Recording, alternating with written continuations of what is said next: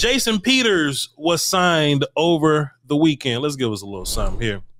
Jason Peters was signed over the weekend. And look, Will, I'm not gonna lie.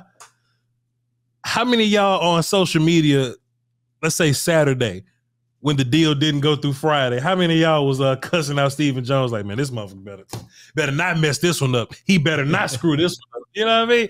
It was a it was a weird little time.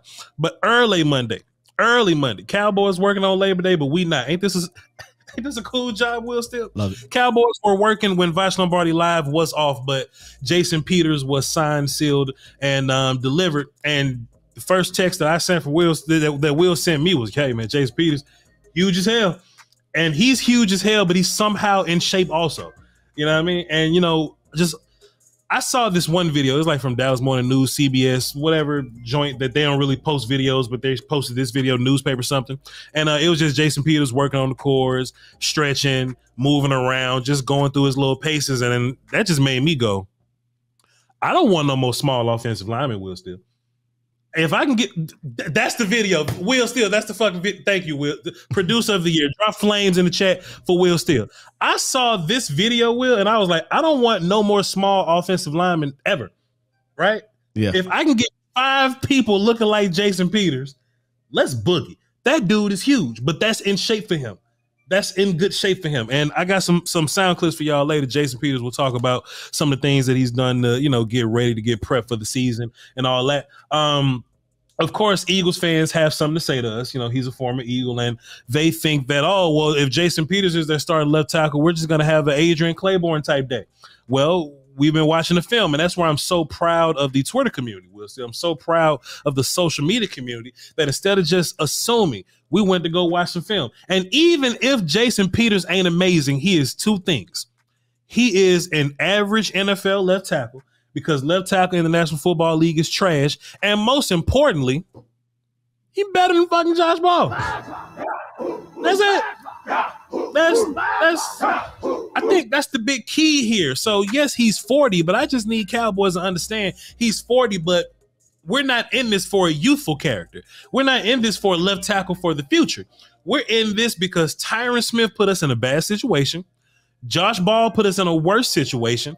All this shit is Jerry and Stephen's fault in the first place. So we just kind of need something to get us by. We need something to keep us alive just to make sure number four doesn't die a slow and horrible death. And Jason Peters will indeed do that for you. Um, now, if we're talking about February, March in the process, I wasn't really a big fan of the idea of signing a 40 year old, but Voch was ignorant. Voch went back to look the film. Will Steele has done the film. People in this chat box, I'm sure, because y'all are responsible Cowboy fans, y'all have looked at the film. Jason Peters looks pretty spiffy as a left tackle. I got questions for you, Will. Let's go. Tyler Smith is definitely going to be starting left tackle versus the Tampa Bay Buccaneers. Mm-hmm. All right, cool.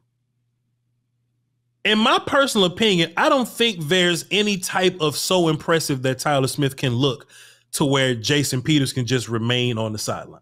You know, there were some clips going around. They were saying, "Hey, man, if Tyler Smith look good, just keep Jason Peters on the sideline and keep doing your thing."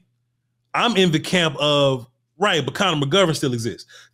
right? So in my mind, if Tyler Smith is amazing and ready for the NFL game, I don't leave him at left tackle. That just made me feel better about left tackle for the future. But I'm putting his strong ass right back at left guard, and I'm running Jason Peters at left tackle so that we can have that that dream thing that we've been kind of talking about. Will Steele, am I right on that, or do you disagree? No, I, I, don't. I think it, it goes back to that whole best five thing, right? Like I, I mm-hmm. completely mm-hmm. understand best five is not always going to be the five that fans want, but I, I, I mean that is easily the best five. Period. Yeah. Now Jerry came out and said, which is Jerry, which maybe you'll play a clip. I don't know, but Jerry mm-hmm. came out and said, "Oh, you know, it depends how Tyler Smith plays." To me, that doesn't sound like a plan. I don't know if that's the real plan, but that sounds like a, "Hey man, we just gonna throw shit at the wall and see if it sticks." Figure it out. Figure it out as it goes. Where I think the plan should be what you said. Your best tackle on this team, based off of film from last year, your best left tackle at the very least, is Jason Peters. Sure. Sure. Um, and of course, this isn't Madden where you can just sign a free agent guy, plug no. them right in there, and they're ready to go week one. Yeah. Um, I would love for it to be that way. I would love for that to be the case, though. But uh, you know, I, I think it would be a, a, a, a hell of a surprise yeah. if Jason Peters lines up out there week one. Um, Bengals that might be pushing it a little bit, but I think week three versus Giants, I think that may be uh, that may be the perfect storm. So we get two uh, two weeks of Tyler Smith. We got some sound clips of Mike McCarthy um, getting his thoughts on uh, Jason Peters. Let's, let's see what he got to say. Well, I think just like any player, I mean, you have a chance to, to look at the video and obviously have a tremendous amount of respect for what Jason's accomplished throughout his career. But you know, going back watching the uh, the video of, of his time in Chicago, um, you know, is a is definitely a opportunity of high mutual interest. You know, and which is what I think is interesting in the in the first part, right? Because this isn't like, oh, we were desperate, so we went here, or oh, we know the Eagle stuff, but he was kind of trash, whatever, so we're just going here.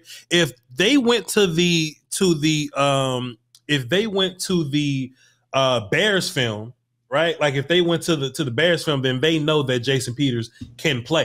So I want to know when did they watch this Bears film? And you know, Will, you said on your show, me and you text about it. You know, you kind of want to call Jason Peters as soon as Tyron Smith get hurt, but. I wonder when. I wonder when is the earliest they knew Jason Peters could still play. Let's keep running, Mike McCarthy. You know, he'd love to finish his career here in in, in Texas, and um, so uh, we had a chance to visit. You know, late last week, and and through the weekend. So he will uh, he'll line up and uh, we'll kind of just bring him on along a little slowly today. We'll just do individuals, so he'll practice today. Let's see how practice goes today. You know, so we'll just get him back out there and you know kind of take a ramp up type mindset, uh, just just to let him get back into it.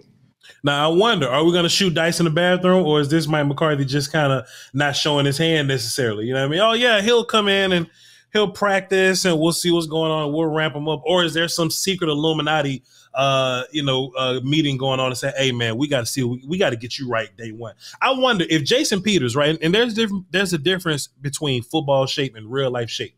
He says he's in real life shape. Football shape is different but it's week one, so none of us are technically in football shape. Yes, the team has been practicing more. Some of the some of the you know you know they they've been doing the joint practices and things. They've been you know practicing, but it ain't like game shape, which is another different kind of shape, right? Should we just shoot the dice in the bathroom, Will Steele, and just throw him in the fire and just hey, you gonna get your ass in shape via no. blocking? no, absolutely not. He's 40 years old, man. He, he said, I haven't put on a helmet or shoulder pads since January. That's real. That's real. Yeah. Yeah. But I'm excited though. Yeah. I'm excited because going into this thing, man, you know, oh, we're looking for Jason Peters, we're looking for Eric Fisher, we're looking for some left tackle guy. You're like, all right, cool, whatever. But when you watch the film, you get you feel better. You feel a little better when you see that film, Will Steele. So I just kind of want to see this thing right now. And Jason Peters is a powerful dude. So this goes back to the conversation we had the other day to where when you're looking for Tyron Smith's backup, you look for what are you losing, right? So Jason Peters is a guy who's big as hell, who can move, right? Mm-hmm. And he may not be a Tyron Smith can move guy, but he can move, but he's powerful. He's powerful as shit, like Tyron Smith is also powerful. So you don't lose very much power. You know what I mean? So in my mind, man, I just kind of want to see Jason and uh Jason and young Tyler move people around and smoke shit out of people. I'm, I'm just excited to see what that looks like. Um, Clarence Hill asked uh, Mike McCarthy, "Does this mean that Tyler Smith goes back to guard?" And you know, of course, we're going to dissect the shit out of what Mike McCarthy's talking about here. Oh no, no. I mean, we're you know, once again, we're you know, we're, this is about adding depth and and uh, bringing another excellent player into your program. So um, you know, we'll just you know, it's uh, to me these are two separate you know separate topics, and and and this is just more about adding, adding a you know a future Hall of Fame player to your lineup. Stop the cap, To your football team. Just if you watch that film like you said you watch that film, you're not looking for Jason Peters as simply a depth guy. I don't give a damn how good Tyler Smith looks at left tackle. If Tyler Smith looks great at left tackle and Jason Peters is as good as you think he can be compared to the 39 year old film or whatnot, and he goes out there, he's a good left tackle for you, Tyler Smith, we love what you did at tackle. You're the future though. Put this motherfucker right back here because look, because now you got to have the conversation of of okay, is Jason Peters a better left tackle than Connor McGovern is a left guard? Connor McGovern plays right guard really. I about say really well. Connor McGovern plays right guard better. He's solid for a left guard if that's what we're going with.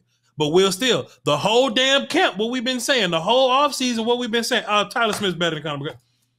Uh, Tyler Smith's much better than McGovern. So unless Connor McGovern got some secret kung fu left tackle shit we don't know about,